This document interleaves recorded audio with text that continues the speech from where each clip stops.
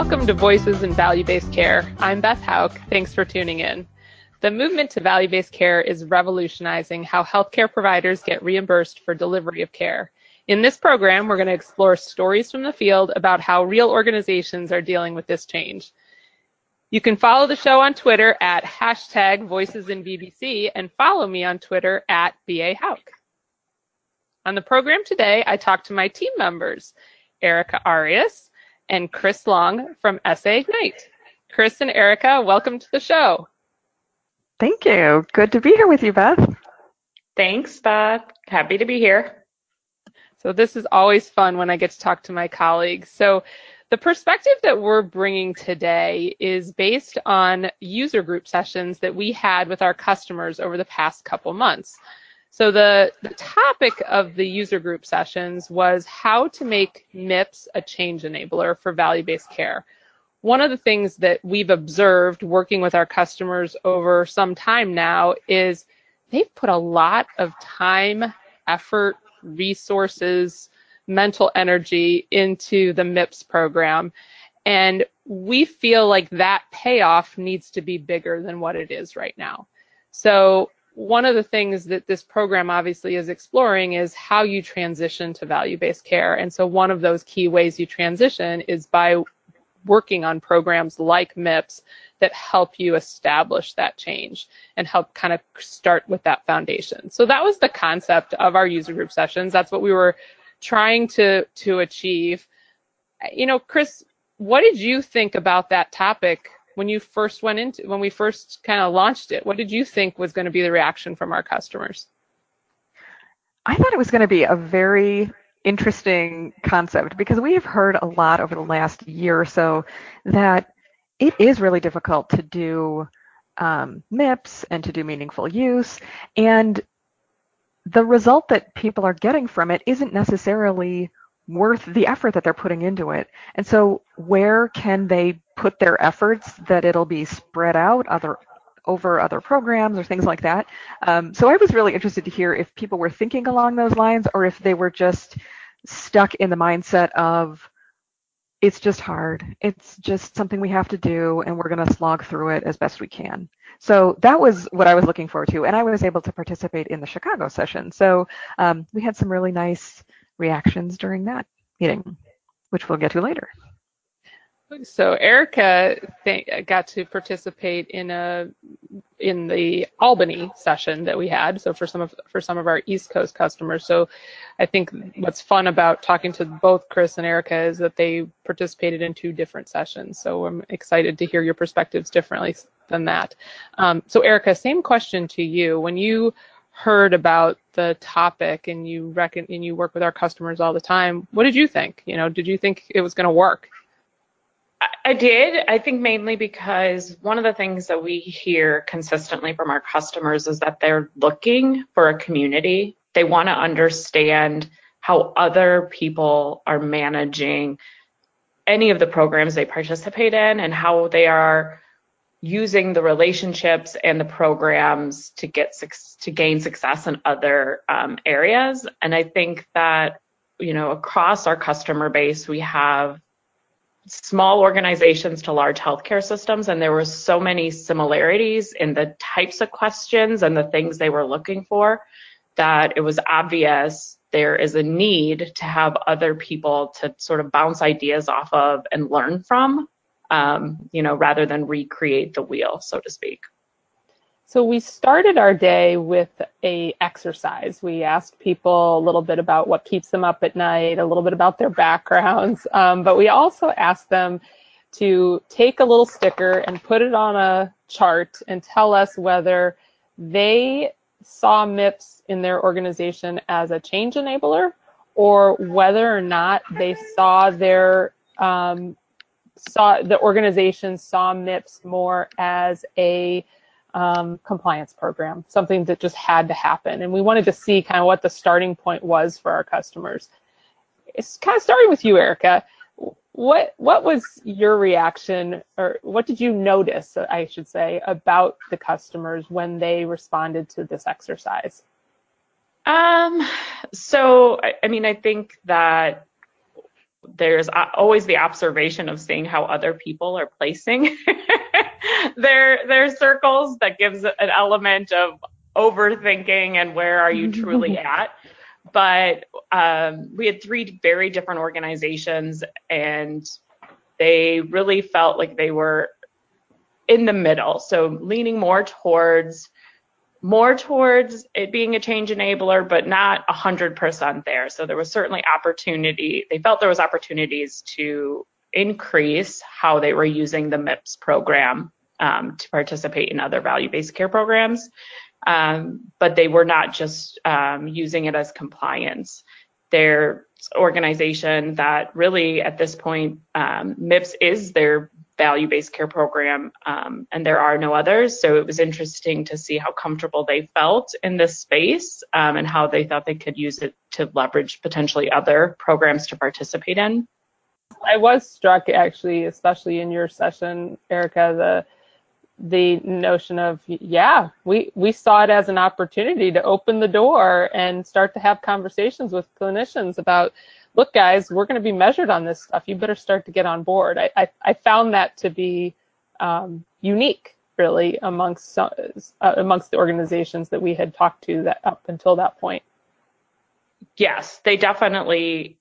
It was almost um, like the audience members we had could see the vision um, very easily, and where they were looking for help was how to relay that vision to other people within the organization.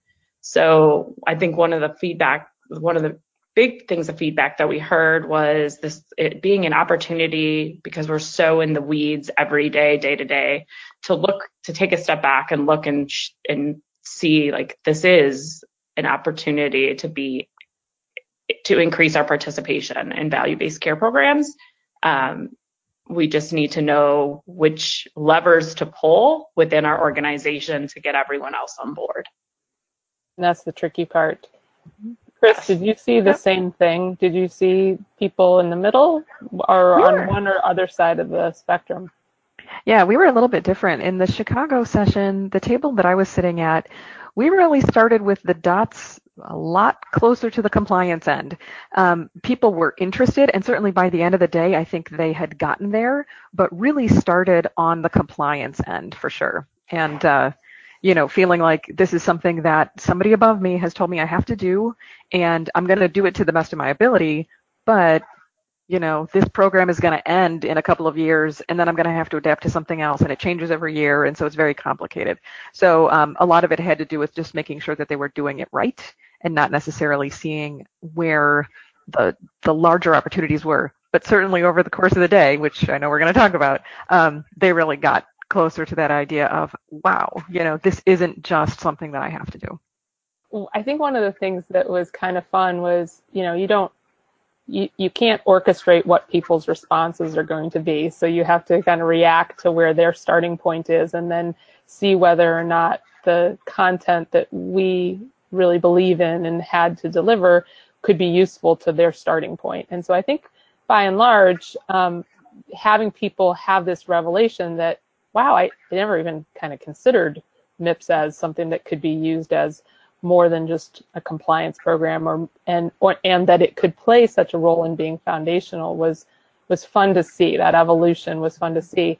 Um, I think uh, one of the things that that we had happen through, through the day. So one of so some of the exercises were looking at what does MIPS do right now, and how could we use some of the elements of what we're doing to run that program for the future. So and then based on what the future needed to look like, where were the gaps between where we're at right now and what the future needed to be. So in that gap analysis, there were some consistencies no matter which session you were at. And one was this, what we broadly say is the relationship to the finance department. So when I introduced this concept to a few people, I said, I remember, you know, in the meaningful use days, people would say, oh yeah, I'm going to get most of my providers to meaningful use and give a number to finance. And that's, that was the, the extent of the interaction, you know, like, oh, I'm going to get 10 and this is how much money you're going to earn so that they could budget for that. And now suddenly we have value-based care contracts that are designed to have you meet specific measures and you have this quality department that has to get to meet those measures. And what we were surprised to learn was how big the gap between the communication of those two groups was. Tell me, Chris, how did you start? Tell me a little bit more about what you heard relative to that gap. Yeah, I think one of the participants one of the participants was really talking about his concern that there were so many silos in the organization that quality isn't talking to finance and operations doesn't know what population health is focused on. And it was his feeling that nobody even was talking to the people that were in um, the managed care department that were negotiating these value-based care contracts. So the idea of certain things getting solidified into different programs without the full buy-in of everyone that was participating, that was a real concern, and everybody agreed with that. That that was really something that um, had been an issue for them, and the idea that they have this this responsibility for a large program, but not everybody understands it and not everybody is is fully bought into why it's important and things like that um, the idea of just trying to educate the people around them as well as getting their buy-in was one of the um, the challenges that people really wanted to tackle during that day. I found it to be somewhat um, an aspirational point too. You know, like, yeah. hey, we we immediately see that gap, but we also immediately see how we could start to bridge it. Mm-hmm. I think Erica, in your session, you had some people a little further down the path that were using MIPS as a rallying cry a bit more what how did did any of those organizations talk about how they also collaborate with finance differently right now to to start to build those bridges or did they too talk about this same gap? The majority still had the gap although they had experimented a little on getting uh, the involvement and collaboration within um, the organization and finance uh, the most unique was putting the MIPS program manager across the hall from finance, uh, which was ah. highly uh, and did not necessarily play out how they had hoped. Um, but the one that had really seemed the most has seen the most success was uh, using dyad leadership, and the MIPS program manager was meeting with finance. Um, walking through what to forecast and how to forecast that and really their component that they were missing um, that they've started to integrate in is the physician being involved in those meetings as well. So taking all sort of all three uh, contributors and holding one another accountable um, with weekly touch points. Yeah, I I could I could see how even the geography of having mm-hmm. them across the hall could make make a, a big difference. But all of those other things uh, are also important. I think it I think it really lends itself also to the to another aspect of the conversation we had when we were talking about gaps was that in many organizations MIPS was still a person, not a program. So just like anything, you know, they heard about MACRA and MIPS. A lot of organizations says I need I need my MIPS person. I need to hire for this. I need to have that person in place so that they can be all things MIPS. And what that ended up doing was creating MIPS was a person, not a program. That person leaves, and you your whole uh, infrastructure related to operationalizing that you know compliance program kind of crumbles. So, Erica, launching off that conversation about the about kind of the finance and finance silo, what do, what did you think it what do you think it means to make MIPS a person, not a program? And how have you seen some organizations do this successfully? Um, so, I, I mean, I think the biggest change is using what's the common denominator across everything that you're doing in the organization to be successful. So it's patient care and how are you managing um, whether that care is you know high quality so there were similarities across any program you participate in in looking um, and looking at those similarities and then making that sort of the language that you're using in your organization. So instead of saying these are our MIPS measures, these are the measures we're focused on to improve the quality of care for our customers. That way, whether it's the person so you know responsible for MIPS or responsible for VBC program A, B, or C, they're still speaking the same language. Yeah, we did have some conversations about that language. That was that was my own like aha that how much that was important to them. Yes, yeah, it, it's it's huge. I mean, we're all filled with acronyms, and I think we we know we notice it across any program that that we help customers um, gain success. Is that we're all talking about the same thing, just using different words, and if you can get those words to all be the same, um, you'll have a lot more success uh, in collaboration. And, and, frankly, you know, in some ways, you, you, you might gain a little bit by not using the MIPS four-letter word, you know? yes. Um, At least from a position position perspective, certainly. yeah, because they, they don't want to hear about another government program, but they do want to perform better in quality and they want people to measure that and, and tell the world about it. So yes. that's all good. So let's, let's start from that standpoint in, instead. Um, what do you, what do you think, Chris? I, I recall very clearly at the Chicago forum, somebody, I, I can't remember exactly, but I can remember like their smile, you know, saying like, oh, I never thought about it. MIPS really, really does need to be a program, not a person, because obviously they, they were that person and recognized how much that was holding them back. So, mm-hmm. what do you think resonated the most about that concept? I think the timing was just perfect, actually, because two of the customers that we had there, um, one of the customers had just lost their main resource that, you know, that resource who I had been in close contact with throughout 2018, her last day was coming up in a week from the day of the forum. And so, you know, her manager was here at the forum like, ah, what am I going to do to run this program now if this person is gone? And so, you know, that was, I think, the complete light bulb that he needed more people than just that one resource. And the other customer that was um, sitting at the same table had literally just formed a new quality committee within the last few months. And so they recognized that they have 11 different value based programs that they have been working on. And there had been one resource who'd been very focused on um, MIPS and also on meaningful use for Medicaid, but you know, largely just focused on MIPS. And they were cut off from the other 10 value based care programs.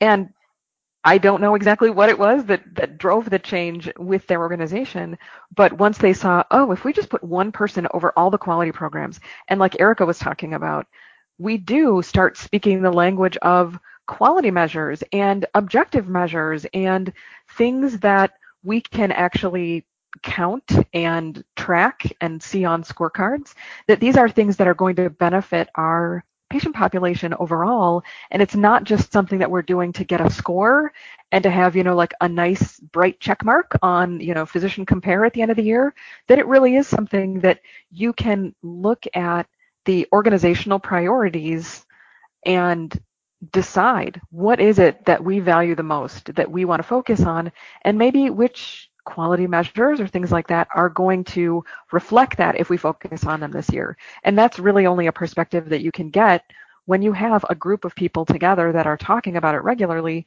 And that's where having that quality program instead of just a compliance person whose job it is to run reports, you know, that's where the value is really going to come from. And I think by the end of the day, all seven of the organizations that we had participating, especially in the Chicago um, forum, they were really um, they were pretty sold at that point, which was great.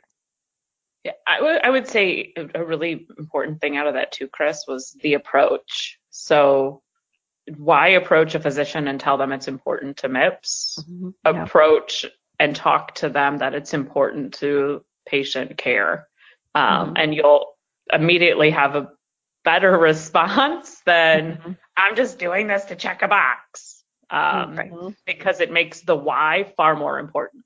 And that is uh, a big big driver for motivation is the mm-hmm. why. Mm-hmm. Right. We did. I mean, we did talk a lot about that. You know, that's the the soft side, but really the crux of all of this is how do you how do you drive the change? And one of the tactics for driving the change was, like we said, not like moving it away from being this very person tied to the name MIPS program and making it or uh, person and making it more of a program that everybody can get behind and maybe not using the MIPS term. I think along those lines was a lot of conversations about physician engagement, which Erica you just started to touch on. How do you how do you get people to not think they're just checking a box to meet a government program? And I think um, we heard a lot of really great ideas. We had a we had a physician who gave us uh, his perspective both as a physician, practicing physician, as well as a physician leader who's been down this path. Um, there were all kinds of ahas in, in what he said, but kind of talking about what you were just just talking about, Erica, what did you what did you hear related to that engagement that was particularly compelling?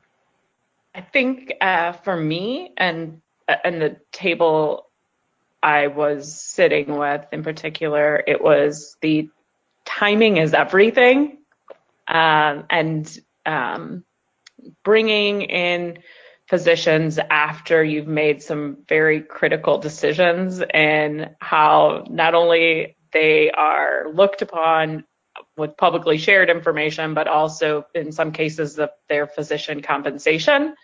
To bring um, the physician in after those was too late. That we really need to um, include those physicians, both the naysayers and the all in, immediately, so that they can provide that in, that input um, and honestly be more vested in success because they've contributed to those decisions. Definitely, I think uh, what, what, was the, the the phrase that you and I both loved was turn the turn the loudest complainer into the leader. Yes, yes. What a great very important. Yeah, very important, right? Yeah. yeah. Well, if someone's engaged enough to be irritated or loud, rechannel that energy. And I think we had a similar um, similar reactions in Chicago where the the the folks who attended were so excited to hear from Dr. Faber about the different things that they could probably do for their physician engagement. And the the I think the biggest point that we saw that there was the biggest reaction to was the idea of really trying to narrow down um, all of the tools that are available and all of the different pieces that are moving and everything, that being able to narrow it down for the clinician and say, we're not expecting you to click every box. We're not expecting you to become an expert on any of these um, compliance programs or anything like that. But what we are going to do is we're going to talk to your staff. We're going to talk to um, your clinical team or something like that so that we can say, look, your staff is going to handle that and you get to focus on the things that are most important to you so that you don't overwhelm them with with new requirements or things that they need to be involved with um, you know the busy work can be done by somebody other than a very busy clinician mm-hmm. so that that that alone is probably two more episodes right there's oh my gosh yeah unpack, unpack there so at the at the end of the user group forum, we asked all of our attendees to tell us about their aha moments. Like what were the things that they were like, I never thought about that. I never considered. I, I'm going to pose the question back to the both of you about your own aha moments, not necessarily about the content, although certainly it could be that, or even just what surprised you about the attendees and some of what they had to say. Erica, I'll let you go first on that. Okay. Uh, so, two biggest takeaways for me. Uh, the first being the uh, on an island alone. So, what sometimes is perceived as, you know, a almost a wish to make sure that they're managing everything by themselves be, for you know whatever reason, um, it was apparent after meeting, you know, just for one day across the customers that it was less um, a decision they made and more of that's where they were because they didn't have the stakeholders or participation from other um, people within their organization. So, you know, how can we how can we give them the tools to go out and and get people to participate so they can be just a contributor, not the actual program itself. And the second, I would say, was the approach. So the uh, one of the things Dr. Faber talked about was the WIFM, the what's in it for me, and how uh, impactful that is for everyone to know why they need to do something um, and that why we're doing it is really to improve patient care. And if you start from there, you can't go wrong, right? Like that's it's, right. It's where we're headed, and it's what we all want. So looking at it from from that approach instead of the tactical, like clinical pieces that we tend to go back to, like you need to do this measure, you need to check here. Like this is why we're doing it. So yeah, the why we're doing it is so key. Chris, uh, mm-hmm. what uh, what about you? Yeah, I think the biggest takeaway I came out with was um, really reinforcing how smart and how engaged our customers are and how much they want to take action. That it's they didn't come to this forum to just learn more theory they came here to leave with strategies. They really wanted to be able to take something back and put it into action to help their organizations. And that was actually the neatest thing to see the way that they were connecting with each other. Even if they're in a geographic area that's competing with each other, they mm. still felt like, you know, we really do need to connect. We do need to support each other because this is a hard program and we want, you know, our strategies are aligned even if we're competitors. Um, and being able to know what the plan is and go forward with it um, there just felt like a lot of energy to do that. And i was really i was just really kind of excited to to be in the middle of that and see the excitement and and know that we've got some tools that we can help them but that they were also just coming up with tons of ideas on their own. And that was really a great feeling. Well thank you guys both. Always fun to talk to people that i spend lots of time with in the other aspects of my life. Thanks, and thanks to our audience for tuning in. You can learn more about the show on the programs page on healthcarenowradio.com and lend your voice to the conversation on Twitter at hashtag voices in VBC and be sure to follow me on Twitter at BA Houck. I'm Beth Houck, bringing you the voices in value-based care you should hear. Until next time, have a great week.